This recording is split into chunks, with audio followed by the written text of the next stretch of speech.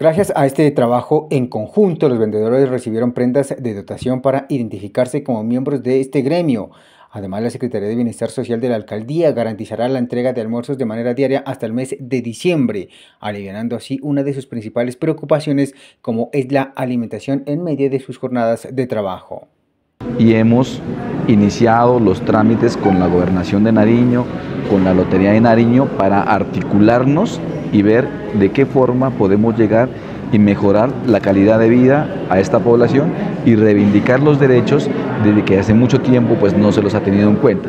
En este caso la Secretaría de Bienestar Social a través del programa eh, Adulto Mayor del municipio de Pasto ha, ha decidido vincularse para entregar un complemento alimentario a este grupo poblacional que realiza sus, actividades, como lo dije anteriormente, en la calle.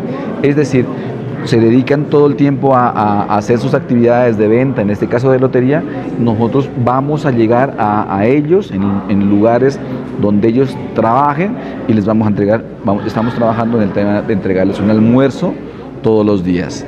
Entonces, para esto va a servir pues para que no vayan a sus hogares y descuiden sus, sus puntos de trabajo, sino que cojan más fuerza para en la tarde poder seguir trabajando. Esta iniciativa es un claro ejemplo de cómo el trabajo institucional articulado puede generar un impacto positivo en la vida de las personas, especialmente en las más vulnerables.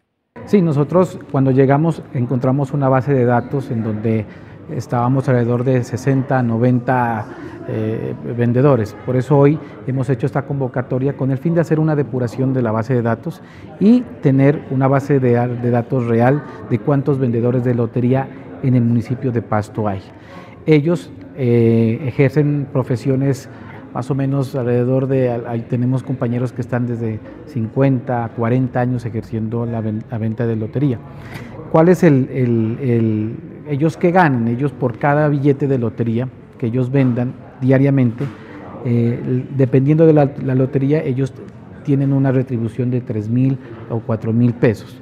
Entonces ya depende de cuántos billetes de lotería ellos vendan cada día y esa será la retribución económica. Sí, nosotros desde eh, eh, la línea directa del señor gobernador es buscar todas las alternativas para dignificar a nuestros vendedores de lotería.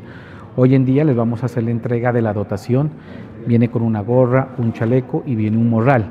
Esto con el fin de tener un poquito más de organización con nuestros vendedores de lotería y buscar desde la gobernación, eh, en representación de la Lotería de Nariño, tener a nuestros vendedores de lotería hoy en una base de datos real. Finalmente, los vendedores de lotería en Pasto manifestaron que es importante esta clase de apoyo a esta población que durante ya muchos años ha realizado la venta de lotería y chance en el municipio de Pasto. Pues sí, sería muy importante porque es que nosotros tenemos mucho tiempo de, llevar eh, vendiendo la lotería, años, yo eh, entré a vender la lotería en 1966. Entonces, a, cuestiones de que antes había la lotería de Nariño, pues hoy no la tenemos, hemos quedado todos dispersos, unos un lado por otro, cada cual se defiende por su lado. Entonces, qué bueno sería retomar estas cosas como para volver a hacer un grupo homogéneo entre todos, comenzando por ustedes, para que se nos tenga en cuenta no solamente como vendedores, sino también para muchas otras cosas, porque hemos eh, entregado nuestra juventud y estamos ya, ya estamos, mejor dicho, ya en la edad, tengo 74 años y todavía sigo vendiendo esto de, lo, que es los juegos de azar, que es la lotería y de, de, Colombia, de todas las loterías. Ha sido un poco más difícil hoy en día porque pues eh, ha aumentado la cuestión de los, de los puntos de venta y todo eso en los pueblos y todo eso. A nadie se le quita el trabajo ni nada, pero entonces nosotros ya es un poco más duro para poder vender y tener el sustento que tenemos que llevar a nuestros hogares.